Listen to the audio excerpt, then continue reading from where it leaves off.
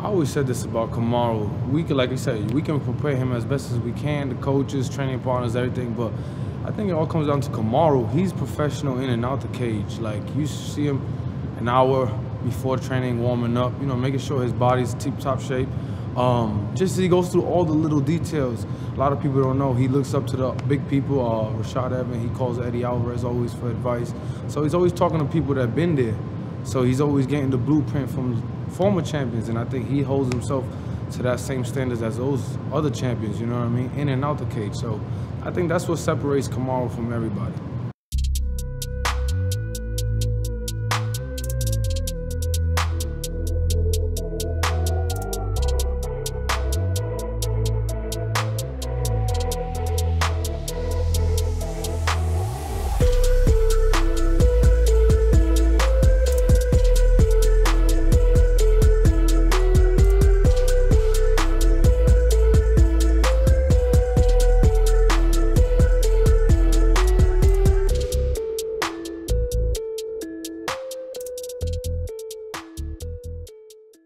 I've been popping up on that big one right there at the Palms Casino.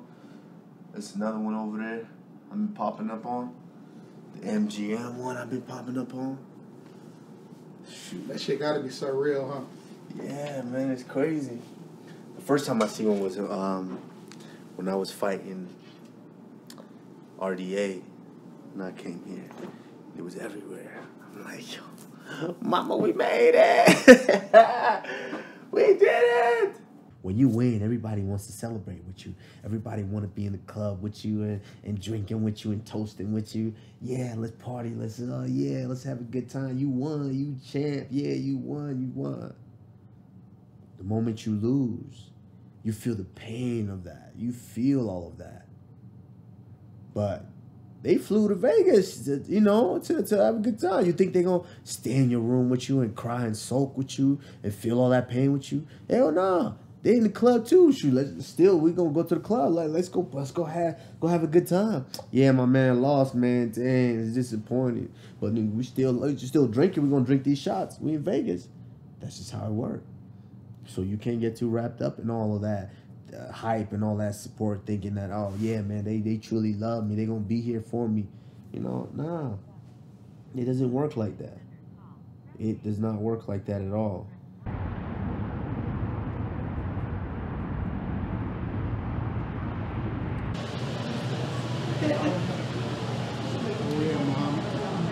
Oh man, we at the uh, PI right now at the food court about to grab some to before we got training. You know, so just taking a day at a time. One, two, three, four, five, like Coach Lawrence would say. Morning. Good one, good one, good We're talking about you not being a sellout. You're doing really good for this industry. Awesome I job. definitely won't. Order brings success. So right now we're at step four. You know, my brother winning and raising that hand, that's step five. So we just take everything in steps and, you know, don't, you can't skip steps. You know, and uh, you do everything in order and you get your results.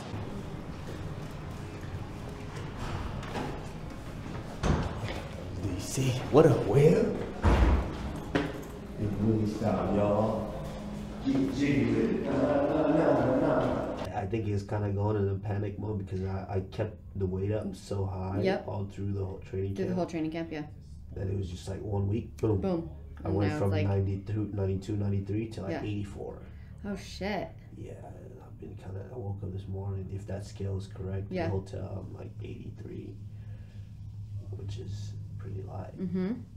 It's all just like the weight mental- cut and it's a mental thing this week and and then once you rehydrate and get those everything in you, you're like. Friday, boom. Friday about 6 p.m. I'm like, fuck yeah, let's fucking go. okay, ready? Alright, hug right like that. Perfect.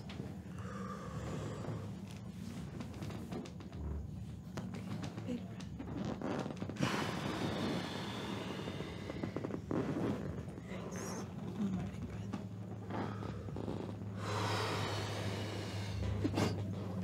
Thank you. Good ones. An uh, athlete with so much muscle, Right. it's hard to lose weight. It is.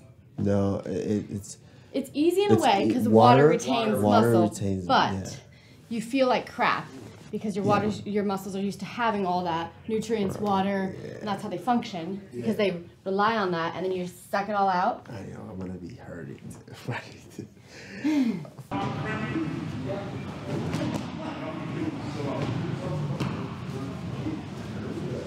See them curls spinning well? Oh, no,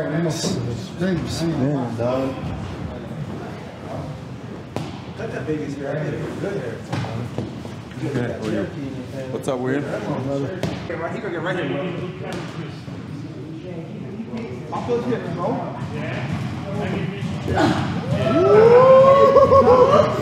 He doing it with a no stretch that, that was just like this, right? You tried to dare me.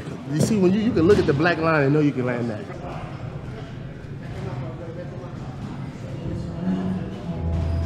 Yes.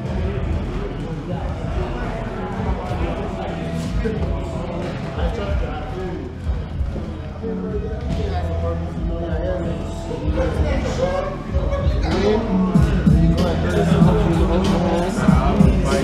wild to hear the, the fans that, that maybe don't know about mixed martial arts as well talk about this fight and the potential for excitement. I mean, this is a fight that's going to be exciting. Usman and Colby, two high, high level wrestlers, they're always going to be forced to duke it out. I mean, these guys are going to have to take each other's heads off. There's a lot of animosity, a lot on the line. Uh, it's 25 minutes. One man's going to crack. There could be knockouts. There could be submissions. There could be some, some blood and guts. It's going to be a nasty fight. I can't wait for it. Open up a card like this is uh, is exciting, man. I mean, this is this is one of the best cards I've seen in a very long time with these three title fights. You got Aldo uh, fighting Moraes, and you got myself and Petr Yan uh, all on the pay-per-view. So open it up is, is an honor. I'm about to get the fireworks started and start off with a bang. Time, man. You fucking hell. I haven't aged much. I know. I don't get. Oh, this is the other guy. We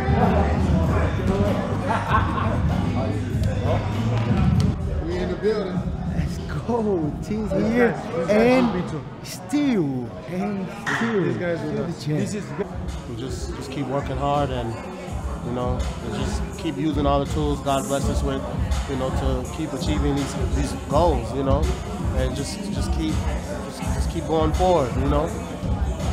Life is about going forward and achieving, and he's already achieved the, the first step. Now defend, you know, and then you keep defending until you get tired of it, and then you, you retire, you know. So very blessed to be here, and we're ready to we're ready to put some work in. You see him.